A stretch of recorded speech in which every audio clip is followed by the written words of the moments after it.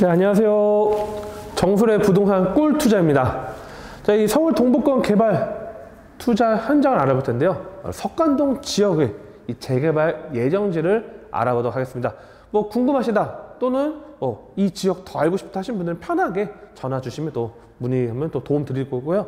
바로 알아보도록 하겠습니다. 자, 이 석관동이라는 지역을 좀 생소하신 분들도 있을 거고요. 좀 잘 아시는 분들도 있을 겁니다. 자, 장이 누타운. 많은 분들이 이제 부동산 투자하신 분들 장이 누타운 아실 텐데요. 바로 이 장이 누타운의 남쪽 지역이 석관동이 되겠습니다. 자, 그래서 이 바로 서쪽 라인에는 청량리에 자리 잡고 있고요. 이 청량리 일대 뭐 동부권의 가장 큰 형 같은 역할을 지금 재개발 이끌어내고 있고요. 그 다음에 이 북쪽 라인의 장이 누타운이 현재 진행 중에 있습니다. 어떤 특정 지역들은 이미 완성이 됐고요. 또는 뭐 조합 설립 인가나 시공사 선정이 된 지금 장이 누타운 현재 진행 중에 있고요. 근데 이 우측 라인, 동쪽 라인에는 이 광운대 역세권 개발이 본격적으로 이제 하나하나 시작하고 있는 상황이고요. 그다음에 남쪽 라인에는 이문 누타운 좀 더 나아가면 휘경 누타운이 자리 잡고 있는 지역에 바로 이 장인 누타운과 이문 누타운 가운데 딱 알짜배기로 샌드위치로 개발되는 지역에 어떻게 폭풍에 지금 맞물리는 지역이 바로 석관동 일대입니다. 그래서 실제 석관동 일대가 계속적으로 떠오르다 보니까 뭐 신통기획이나 모아타운 중 이런 개발 지금 하나하나 이슈들이 나와 있고 있고요. 특히 이 6호선 같은 경우에는 경전철이 아니에요. 그렇기 때문에 이 월곡역, 상월곡역, 돌고지역, 석대역까지 서울 도심권을 빠르게 관통하는 6호선이 자리 잡고 있는 지역의 교통 호재지에 있는 개발 예정지다. 이렇게 보시면 좀 도움이 될 것 같고요. 자, 이 철도망을 보면요. 이 서쪽 라인, 아까 말씀드렸던 청량리역 개발이 지금 진행되고 있어서 GTX 비노선이나 신호선이 또 진행되고 있고요. 근데 광운대 역세권 개발과 맞물려서 GTX 신호선 자리 잡고 있고요. 그 다음에 좀 더 넓게 보면 뭐 1호선 회기나 외대, 신임문, 아까 말씀드렸던 휴경, 이문누타운 지금 진행되고 있고 자, 현장을 보겠습니다. 자, 현장 석관동이라는 지역이 개발 예정지라 하더라도 가장 중요한 거는 정말 개발 예정지에 들어가 있는지 어떤 지역들은 너무 동떨어져 있게 개발되는 지역과 동떨어진 지역이다 보니까 개발이 안 되는 지역들이 있는데요. 자, 오늘 소개해드린 이 석관동 현장 위치는 바로 도보 2분 거리에 있습니다. 자, 상 월곡역에서 도보 2분 거리입니다. 자, 이 지금 위쪽 라인은 지금 장희동 일대 지금 누타운 개발되고 있고 옆에 뭐 지금 상월곡역 이쪽 라인 뭐 15구역이겠죠. 15구역이 자리 잡고 있고 지금 다양한 개발들이 진행되고 있는데 바로 남쪽의 석관동 도보 2분 거리에 위치했기 때문에 향후 재개발이 되거나 또는 뭐 모아타운이나 다양한 사업이 진행됐을 때 사업성이 상당히 용이한 지역이다. 역가에 가깝기 때문에 어떻게 보면 최고의 인센티브를 받아갈 수 있는 게 교통망이죠. 지하철망. 지하철망 가깝게 위치했다 보시면 될 것 같고요. 자, 그 다음 부동산 플랜넷에서 노후도를 좀 갖고 와봤습니다. 이 노후도를 보면요. 이 붉은색이 많을수록 노후도가 심화된 거고요. 이 파란색일수록 신축 건물에 보시면 되는데 상당히 노후도가 심각하죠. 또 어떤 특정 뭐 지역들 보시면 신도시 같은 데 보면 다 파란색인데 그만큼 노후도가 상당히 지금 진행이 되어 있고 그만큼 반대로 말하면 개발이 압박이 큰 빠르게 진행돼야 되는 지역이다. 그래서 석관동 일대 지금 노후도 상당히 같이 체크를 하고 있고요. 이 북쪽 라인 장애인뉴타운을 좀 한번 말씀드리려고 합니다. 석관동이라는 지역이 지금 개발의 흐름에 지금 휩쓸러 온 이유는 바로 옆에 있는 장애인뉴타운이 새롭게 아파트들이 조성되고요. 신고가를 행진하고 있기 때문인데 이 다양한 구역들이 있습니다. 그래서 해지된 지역들은 좀 제외를 했고요. 자, 보면요. 뭐 5구역이나 1구역, 6구역 같은 경우는 자리 잡고 있는데 자, 이 3구역 같은 경우는 재 건축 안전진단 통과를 했고요. 그 다음에 6구역 같은 경우는 라디우스 파크 푸르지오에서 이 분양가 거의 뭐 3,500 정도 지금 분양가 지금 형성되어 있고 그 다음에 지금 아래쪽 보면 8구역 같은 경우에는 이제 사업 인가 지금 SH에서 지정이 됐고요. 그래서 공공재개발 사업 시행자 지정됐고 9구역 같은 경우도 LH가 지정됐습니다. 자, 상 월구역이 바로 15구역 밑에 있는데 15구역 같은 경우는 지금 현재 조합이 두 개가 있어요. 그래서 15-1 구역이 조그맣게 있고 15구역이 있는데 15-1 구역이 뭐 조합 같은 경우 이제 뭐 구역 하나에 조합이 두 개가 있다 보니까 속도가 안 나고 있는데 조합 하나가 해산이 된다고 하면 15구역까지도 빠르게 진행되면 어떻게 보면 이제 장위뉴타운의 거의 대다수의 개발이 이제 속도가 이제 불이 붙은다. 이렇게 보시면 될 것 같고요. 자, 그래서 인근 시세를 갖고 와봤습니다. 자, 래미안 장위 퍼스트하이 같은 경우에는 이 장위 5구역이 재개발이 된 지역인데 이 지역 같은 경우는 지금 현재 84제곱이 10억대가 지금 형성되어 있습니다. 자, 아, 84제곱에 10억대가 형성되어 있고 지금 현재 이 장이 5구역 같은 경우는 지하철역에서는 거리가 좀 있습니다. 가운데역에서도 상당히 거리가 있고 돌고지역에서도 거리가 있지만 새 아파트고 또 단지가 또 새롭게 또 조성이 됐고 어느 정도 규모가 있는 단지이다 보니까 안정적으로 10억이 진행되는 부분들이 있고요. 이 석관동을 좀 볼게요. 석관동 같은 경우는 새 아파트는 따로 없어요. 그동안 지금 새 아파트는 없지만 그나마 바로 인근에 갖고 있는 아파트가 바로 이 2009년도에 바로 준공이 난 2009년 6월 준공이 난 레미안 석관입니다.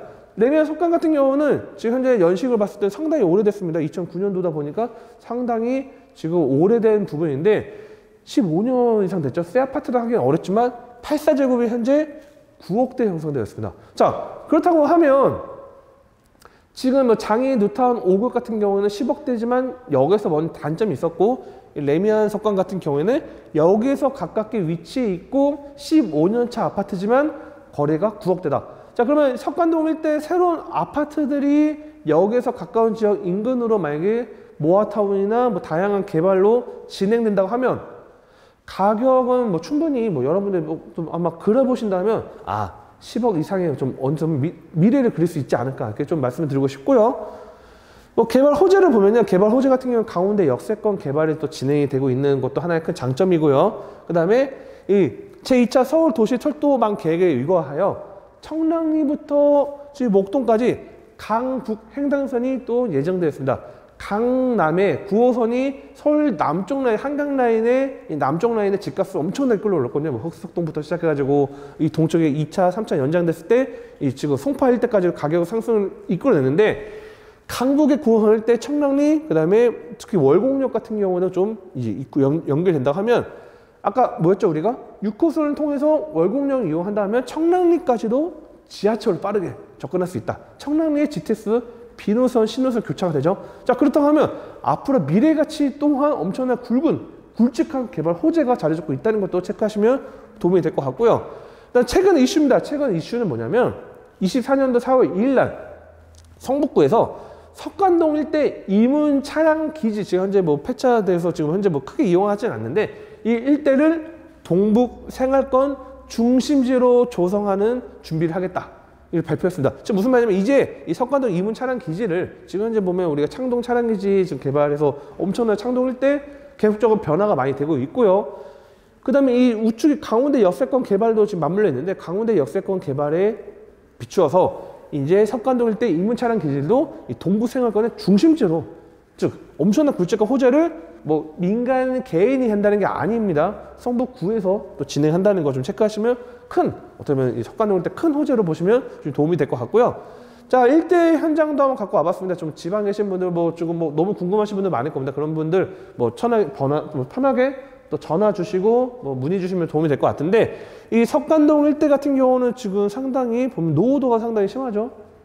자, 개발이 안 하기에는 너무나 서울 내에서도 상당히 노후가 지금 뭐 건물도 지금 낙후돼 있고 도로 상태도 좀 좁은 부분들이 있고 밑에 보면 다들 옛날 건물들이 많이 있습니다. 그만큼 노후도가 상당히 심한 지역이라고 보시면 될 것 같고요. 내부로 가보면 차가 다닐 수 없을 정도의 이런 도로 접근성도 상당히 안 좋습니다.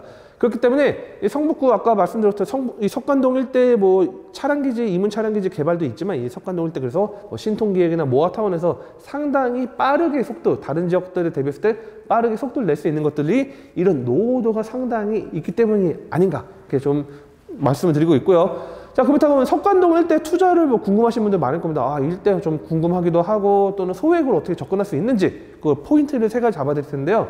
자, 첫 번째는 이 6호선 상월곡역이 도보 2분 거리입니다. 자, 지하철 요즘에 서울에 경전철도 많이 들어왔는데 경전철 아닙니다. 6호선 도시철도 6호선 바로 상월곡역 도보 2분 거리 위치해 있고요. 자, 지하철역이 가깝기도 하지만 6호선 자체가 서울 도심권을 관통하기 때문에 이 임차 수요가 상당히 높습니다. 근데 역도 가깝기 때문에 다른 지역, 요즘에 서울에 뭐 갭투자 하신다는 분들 거의 2억대가 기본적으로 다 어, 서울 웬만한 지역도 다 2억 이상 들어가는데 무려 7천만 원대 투자가 가능한 부분들이 있기 때문에 분양가 2억 원대에 수액 투자 실투자금으로 7천만 원대는 거의 서울에 지하철이 없는 지역도 불가능하죠. 그렇기 때문에 분양가 2억대에 소액 투자 7천만 원대 가능하다는 거 체크하시면 도움이 될 것 같고요. 세 번째 포인트는 이 석관동 모아타운 정비 사업이 지금 진행이 지금 되고 있고 구역이 지금 하나하나 나가고 있습니다. 자, 아무것도 안 돼 있는 상태에서 모아타운 추진한다고 하면 이게 될지 안 될지 가능성이 어렵지만 바로 옆에 장이 뉴타운에는 바로 미터가 지금 그려지고 있기 때문에 이 장이 뉴타운의 임대 아니, 현재 시세 아파트 신규 시세와 그다음에 레미안 석간의 지금 현재 시세 그리고 여기서 가까운 2억대 후반에 바로 투자할 수 있는 소액 주다 7천만 원이기 때문에 궁금하시다는 분은 편하게 또 문의 주시고 어떻게 보면 아마 유튜브 많이 보신 분들은 많이 이것저것 많이 보실 겁니다. 근데 7천대 투자 거의 없습니다. 솔직히 없고 거의 다 3억 이상 넘어가고 4억, 5억이 기본적인데 뭔가 투자를 해보고 싶고 재개발 예정지 투자하고 싶은데 돈은 많이 들어가신 분들 자 소액 투자 가능하기 때문에 궁금하신 하신 분들은 편하게 또 전화 주시면 친절하게 상담 도와드리고 또 현장 궁금하신 분들도 편하게 접수를 받고 있습니다. 여기서 매우 가깝기 때문에 편하게 누구나 보실 수 있는 현장이기 때문에 궁금하신 분들 전화 부탁드리고 도움이 되셨다 하시면 좋아요, 구독하기도 부탁드리고 다음에도 정말 찾기 힘든 핵심 물건으로 인사드리도록 하겠습니다. 네, 감사합니다. 전에도, 이사를 가기 전에도, 크게 다치기 전에도 항상 미리 대비를 해놓는데 부동산은 왜?